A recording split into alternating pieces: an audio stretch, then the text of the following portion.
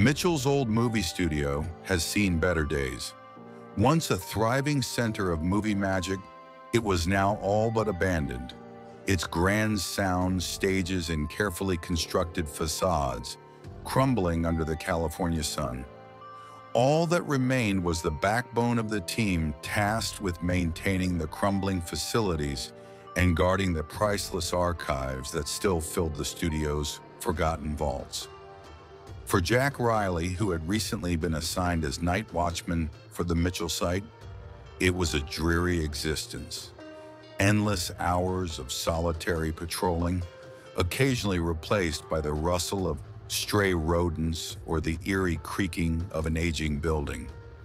But it was on this particular night, as Jack was making his rounds, that something caught his attention that shattered the monotony and plunged him into a nightmare. It was in the old movie storage room, a cramped and musty room littered with rusty metal canisters. Most of the reels they contained were long forgotten relics of the studio's golden age, their contents now lost to time. But one canister, standing alone on a dusty shelf, caught Jack's eye immediately. The faded label read, The Dark Circle, Final Cut. Jack knew he shouldn't touch it. As a night watchman, he was strictly forbidden to touch the studio's archival material. But curiosity overcame him, and he carefully removed the reel from its container, put it through the projector, and dimmed the lights so he could see better. The first images flashed on the screen. A deserted country road at night, moonlight casting long shadows on the asphalt. A car appeared on the screen, speeding down the road.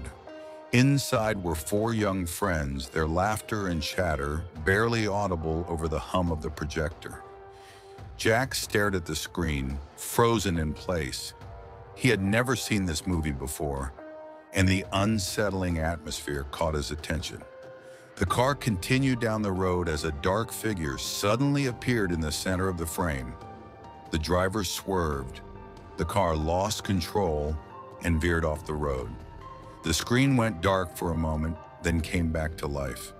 The four friends lay motionless, their car smashed in the ditch. There was a long silence in the room, and Jack watched with bated breath. At that moment, one of the victims stirred.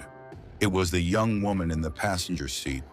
She raised her head, her face partially obscured by shadows. A chill ran down Jack's spine as she slowly turned and looked directly into the camera, her eyes black and lifeless. The movie continued, becoming more and more disturbing. The woman's body twisted unnaturally as she rose from the rubble, her movements jerky and unnatural. Jack gripped the armrests of his chair, unable to tear his gaze away. The woman approached the other victims, and one by one they too began to move and rise, their bodies twisted and contorted. Jack felt nauseous, a sense of terror growing inside him. He knew he should stop the projector, but he was paralyzed by fear. The final scenes unfolded in a steady stream of violence and horror. The victims, now clearly possessed by some dark, malevolent force, pounced on each other in a frenzy of bloodshed and carnage. Jack watched in horror as they tore each other apart, their agonized screams filling the empty studio. Suddenly, the movie stopped. The projector buzzed to a halt, and the room was plunged into darkness. Jack sat there shaking with fear, his mind filled with thoughts of what he had just witnessed. He knew he had to get out of there to report what he had seen. But as he rose from his chair, a sudden chill swept through the room. Jack froze, his breath caught in his throat. He felt a presence behind him, something dark and threatening. Slowly he turned around. There in the shadows stood the woman from the movie. Her lifeless eyes stared back at him, and Jack felt terror overwhelm him.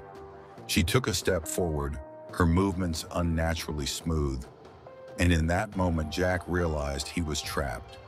He tried to run, to scream for help, but it was too late. The woman's hands lashed out and grabbed him by the throat, and Jack felt the life being drained out of him.